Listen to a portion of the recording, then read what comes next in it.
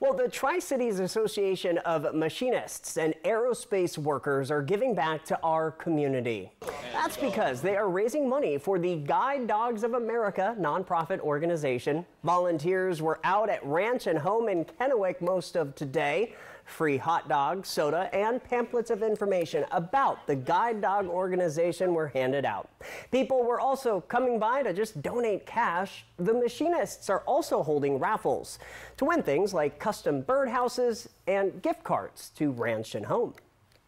What um, Guide Dogs of America does is they provide the animals and the training free of charge to the blind person.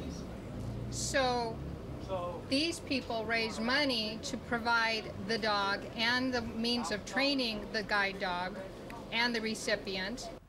The machinists will be back out at Ranch and Home tomorrow. They will also be doing the same thing next weekend on Saturday at Griggs Ace in Richland.